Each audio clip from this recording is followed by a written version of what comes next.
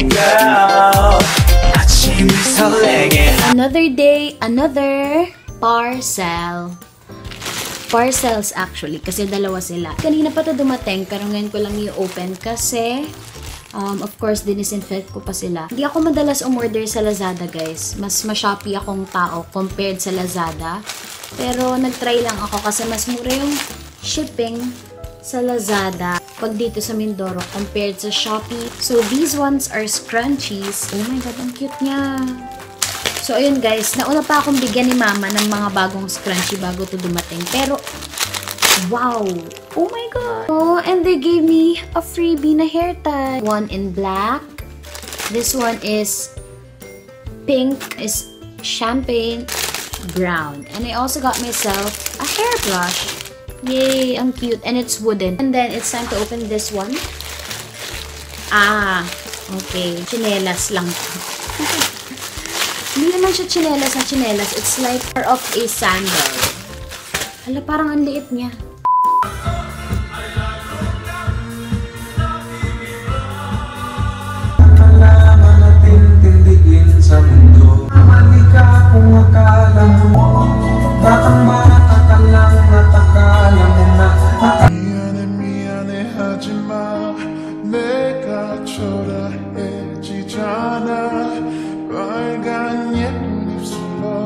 입술로 어서 나를 죽이고 가 나는 괜찮아 마지막으로 나를 바라봐줘 아무렇지 않은 듯 웃어줘 네가 보고 싶어 Good evening guys! So another parcel came in kaninang hapon. Ito yung mga in-order ko nung 99 and nagdadatingan na sila isa-isa, no? Pero ano naman na yan, prepaid because I use Shopee Pay, guys. Use Shopee Pay kasi mas maraming promos, mas maraming vouchers, mas tipid and um, mas convenient and mas safe because cashless na yung transaction. Like, you don't have to communicate directly with the rider upon receiving your item. So, I just got myself some skincare products. This is the Fresh Skin Lab 98% Tomato Glass Skin Soothing Gel Lotion. Naubos na kasi yung aloe vera so- soothing gel ko. So, um, I got myself this one. Palagi ako kasi nakikita kay Ray na maganda daw to. And then, I just got myself this Quick Effects Pimple Eraser. This is like one of the most affordable spot treatments in the market. And, nung nasa Manila pa ako, ito yung ginagamit ko for my zits. And hopefully, mag-work din siya for, you know, oh, mga bagay na yan na ayaw ko makita sa face ko. I'm gonna use this later, pero nakalagay kasi, you need to store it in the fridge for at least 30 minutes before applying it. So, that's what I'm gonna do.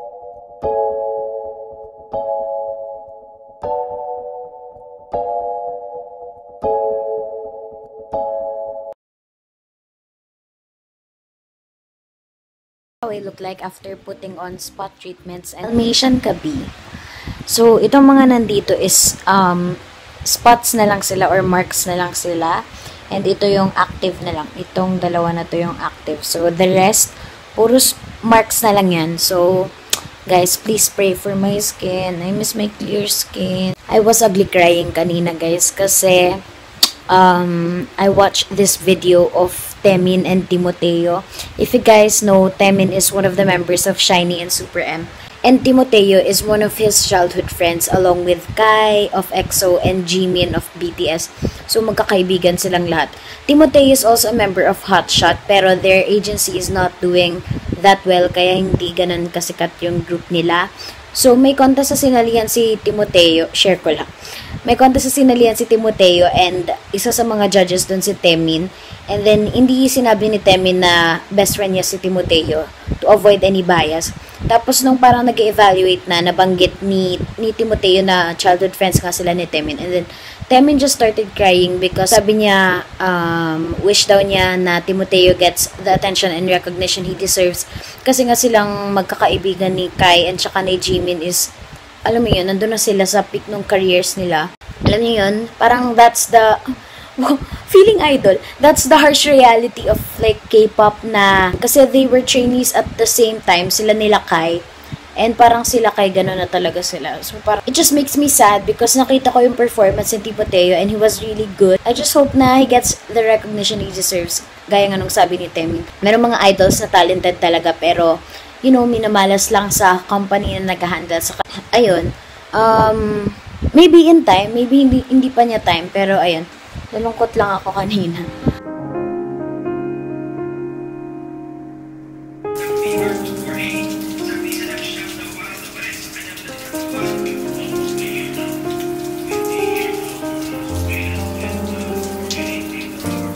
Good morning guys. So as you can see from the sound, it is raining hard and I was actually supposed to hand wash my clothes this morning but I can't because of the rain.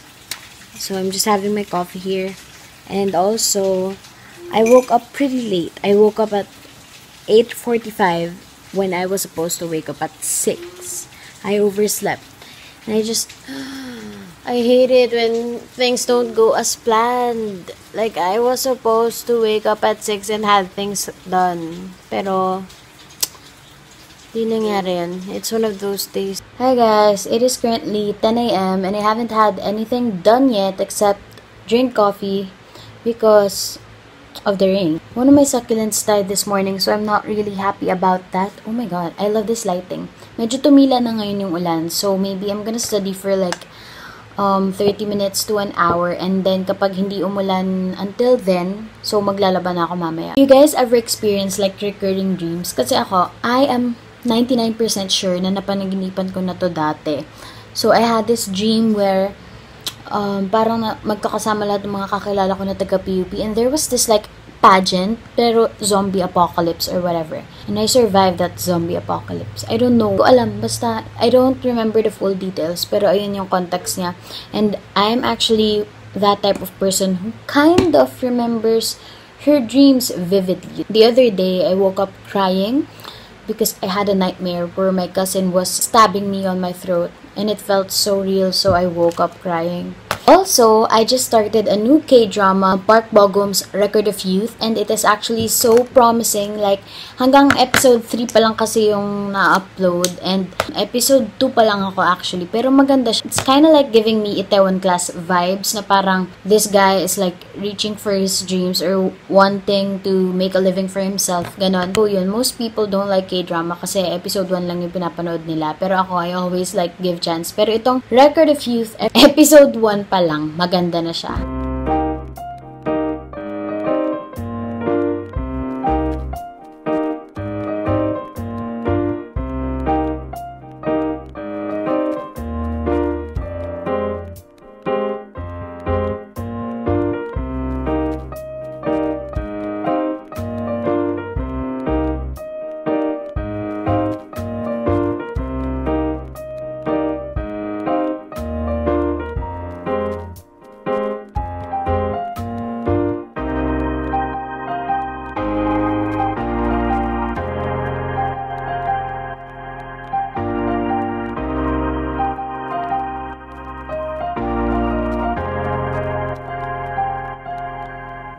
I have been craving for like chicken wings in like forever. So I had it delivered. This one is the teriyaki flavor. Sobrang bango niya guys. And then we also have this one is my French toast because I've been craving it. And then this one is this one naman is their mayo garlic flavor. I am now having my second cup of coffee because I was feeling sleepy earlier mga 3 p.m. Right now, it's 3.47 and I'm just finishing up my readings.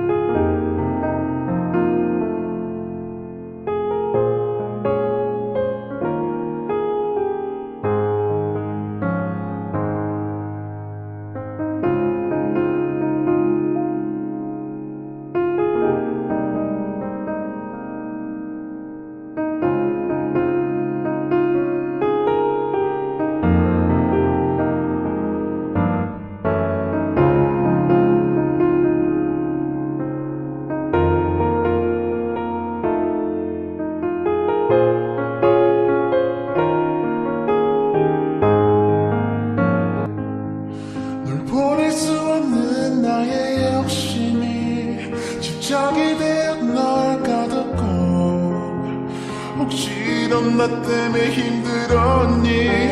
아무 대답 여기 내가 겪은 했으니 짧게 어색하다는 보내줘 메시지. 나여감의 flexing 내 주위를 둘러 바라보는 그날이 될수 위대한 Gatsby Hold on.